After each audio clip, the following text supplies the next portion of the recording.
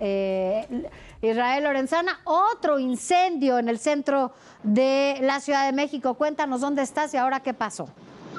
Sofía, muchísimas gracias. Pues como das cuenta, por segundo día consecutivo abrimos este informativo con un incendio en calles del centro histórico. Ayer hablábamos de la Plaza Oasis, allá en la calle de Aztecas, muy cerca del barrio Bravo de Tepito. El día de hoy, bueno, pues estamos aquí exactamente afuera de la Plaza Vanessa, es la calle del Carmen, también el centro histórico, a tan solo unas tres o cuatro cuadras de donde fue el incendio el día de ayer.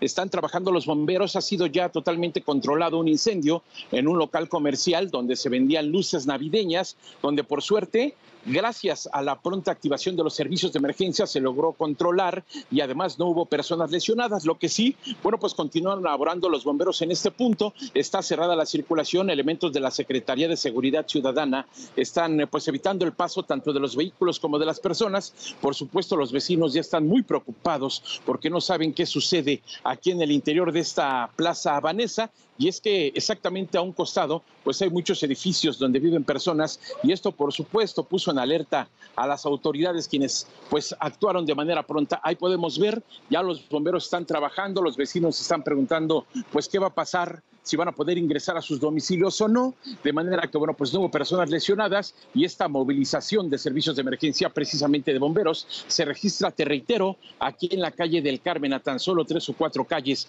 de donde el día de ayer en la Plaza Oasis también, pues hubo una movilización fuerte de servicios de emergencia. Pues Sofía, es la información que te tengo yo desde calles del centro histórico. Esta calle muy famosa, eh, Israel, sobre todo el 5 de enero. ¿no?